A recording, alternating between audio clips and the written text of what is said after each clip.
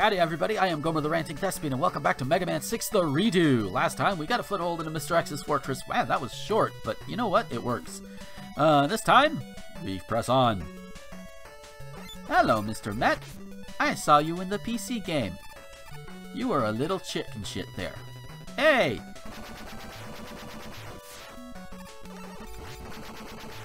Well, I can't let them all- I can't make them all suicide. Oh, this one I can, though.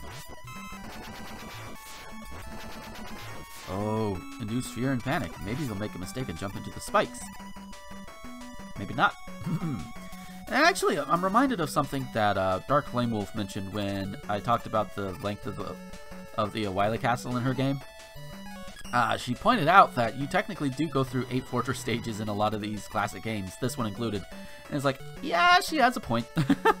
I think the thing that makes it a little bit more exhausting in her game, uh, or, or, at least it can, is the fact that the levels are usually considerably longer than a lot of these stages here. Um, and that can bring about fatigue, um, gaming fatigue. So I, I, think that's probably you know why it's a little bit more daunting is because they're longer. You know, than, than your typical fortress stage, which isn't necessarily always a bad thing. You know, gets more gets more content out there, gets more video out there, and that's great. Um, and as and of course, as was mentioned, I, I know she mentioned it in the comments. I don't think I, I don't remember if I mentioned it in the in that particular series itself. Um, there is an abridged version of Mega Man Revenge of the Fallen, so so if you don't want like the extra long stages, you have an option. Ah, this one I'm gonna need. I think this one I need the Silver Tomahawk for. If it's the one I'm thinking of. Whoop. Slide in. Yep. This is the one. Oh, this is the one where if you do it Buster only, as Rome Mithril has shown, um, yeah, it would take forever. Holy shit. Ah, come on. Hey, hey, hey, hey, hey, hey, hey!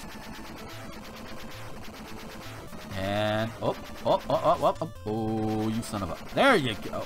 Die, die, die! Yeah, this took even less time than the previous one.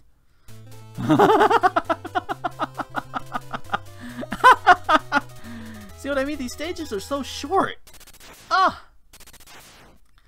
Which for some it's not bad, but then you got others that are like, we need it longer, we need it shorter. There's really no pleasing a fan base here. Ah, uh, but that's okay.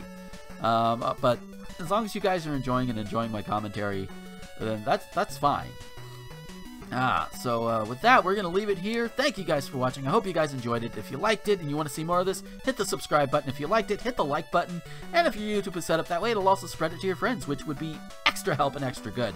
Uh, and don't forget, you can always leave a comment right there down below. All I ask, please don't be a dick. And if you want to help support these videos more directly, go to patreon.com slash gomer21xx and you throw enough money at me and I will pimp your stuff out here in the outro credits. You'll see what I mean in just a few seconds. So until next time, this is Gomer the Ranting Thespian, signing off.